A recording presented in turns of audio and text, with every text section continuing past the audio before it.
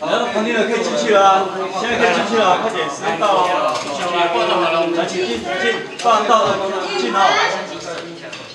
过来，那个喽。这个身份证先放这边。请进。来就就这样可以。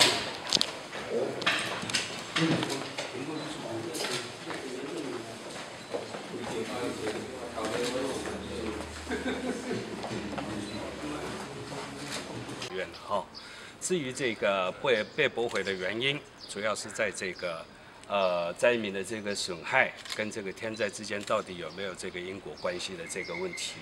那我们觉得在这个地方，这个就法律的层面而言啊，这个法院仍然墨守传统的这个因果关系理论。这个为了这个灾民的利益以及法学的进步，我们有进一步有一个必要要来再加以这个呃推敲。呃，另外一个一个一个重点，对于呃因果关系的一个重点啊，还或者是主观的规则的这个可能性，在于这个有没有这个预期可能性。这个法院认为这个已经是超过这个两百年的这个标准，但是啊，我们必须要提出一项事实：气候的变迁并不是现在才有，在十年以前就已经开始产生问题。特别在莫拉克前面的这个四年前的这个海棠台风，已经展现了气候变迁的这个这个这个巨大的这个威力，是政府对于这个政策啊这个反应是这个过慢。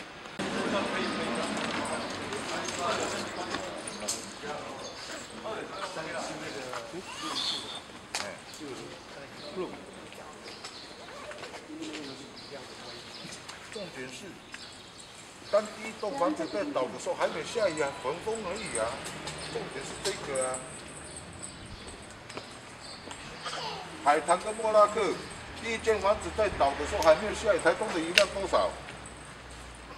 他不能拿全台湾省的数据来拿来加人比啊。台风整个台东县，莫拉克跟海棠第一栋房子在流走的时候还没有下雨呢，还在焚风而已呢。